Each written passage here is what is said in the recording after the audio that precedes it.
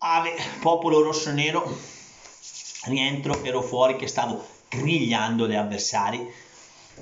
E iscrivetevi al canale, campanella aggiornamenti, facciamo crescere il canale Benzinero, pollice in su per il video, forza mia sempre. Detto questo, giornata super negativa per noi, comunicato ufficiale del Milan, Cialanoglu, Teo Hernandez positivi, era nell'aria, era nell'aria perché c'era qualcosa di strano che non andava, Cialanoglu era due allenamenti che saltava, quindi non ci voleva tanto immaginare che probabilmente c'era un sospetto di Covid.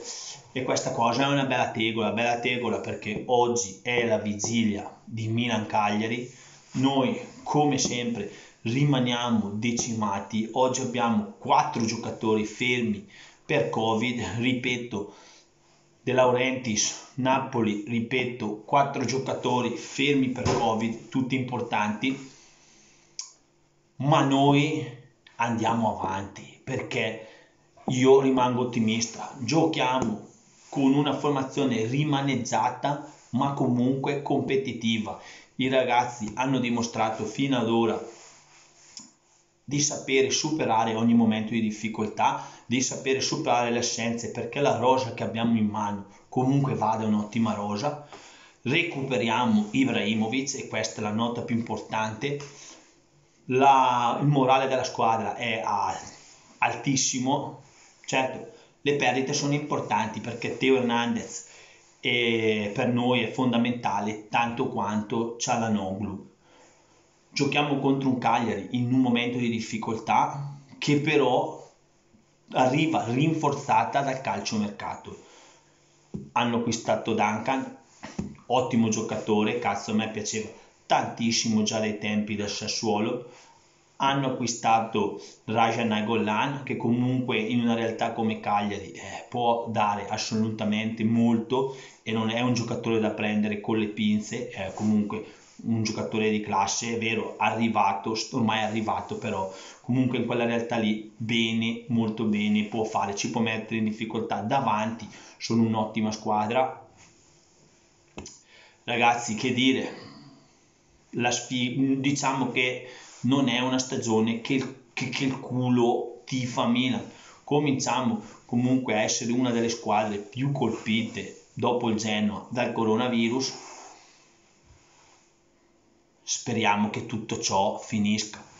Ovviamente spero vivamente di riuscire a recuperare almeno Rebic per la partita contro l'Atalanta perché già è una partita tosta domenica prossima.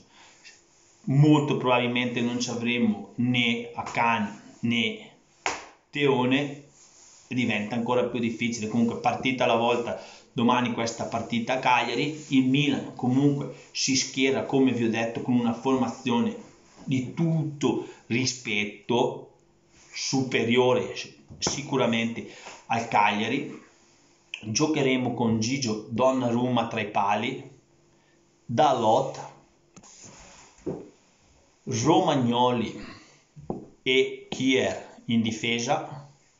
Sulla destra Davidone nostro giocatore del momento a centrocampo, sulla destra gioca Castiglieco perché anche se Salamaker è rientrato in gruppo, meglio non rischiarlo Stefanone Pioli, lo sa quindi, visto già che siamo in grossa emergenza, è giusto non rischiare il giocatore.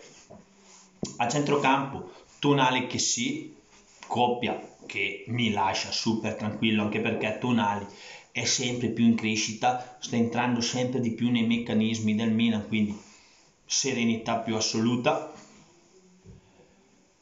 sulla sinistra troverà spazio Leao Meravigliao, anche lui che sta vivendo un momento di grazia, ovviamente. Io lo vedo di più come prima punta, però adesso in un caso di emergenza va benissimo anche lì. E Diaz dietro le punte, anche lì Diaz a me è un giocatore che piace tantissimo, deve sicuramente migliorare, non è al pari di Cialanoglu, ma comunque Diaz è un giocatore forte, salta l'uomo, Zaldini in primo, gioca di prima, è un ottimo giocatore.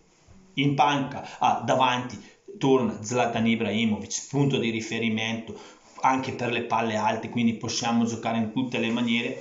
Vedete che comunque ragazzi il Milan è altamente competitivo, anche perché in panchina adesso dovrebbe esserci Meite, abbiamo Aug, la squadra comincia in difesa comunque c'è Musacchio, un po' di panchina ce l'abbiamo, abbiamo i nostri giovani.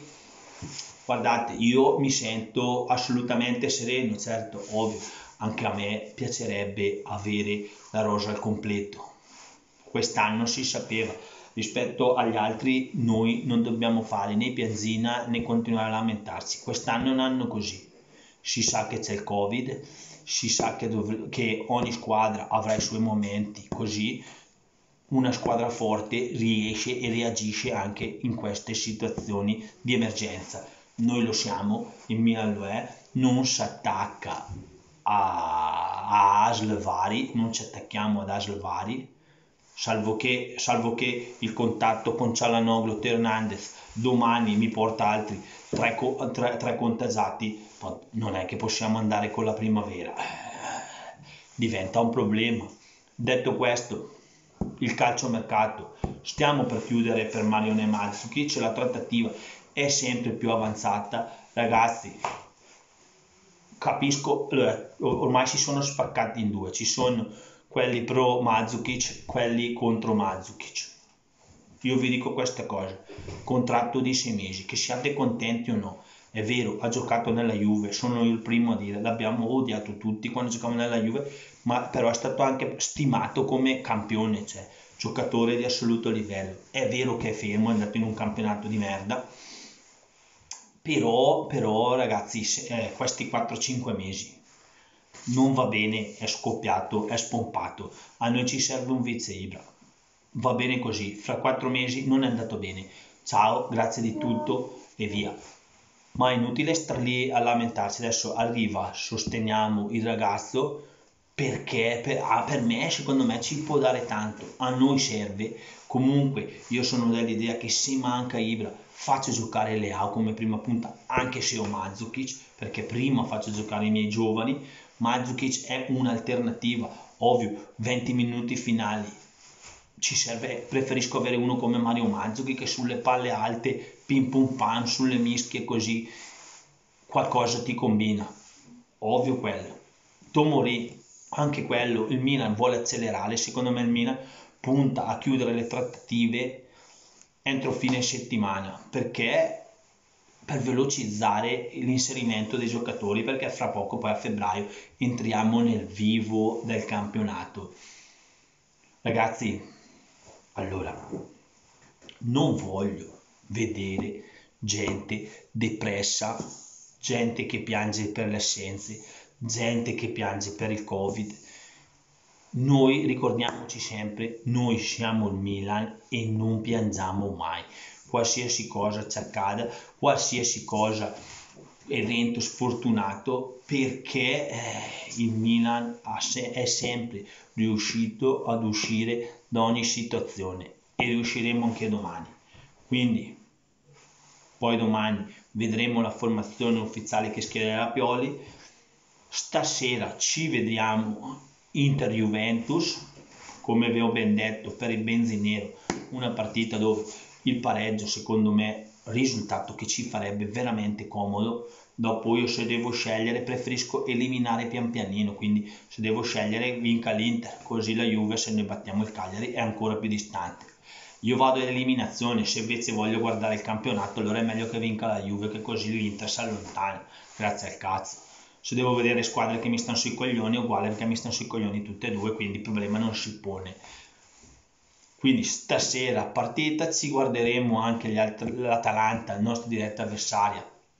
Che ragazzi attenzione, io non sto guardando né l'Inter né la Juventus per la lotta al campionato, io sto guardando l'Atalanta che è la squadra che a oggi come gioco mi fa più paura di tutti.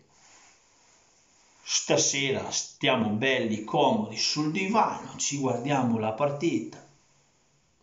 Chi vinca, chi perda alla fine, a noi poco ci importa.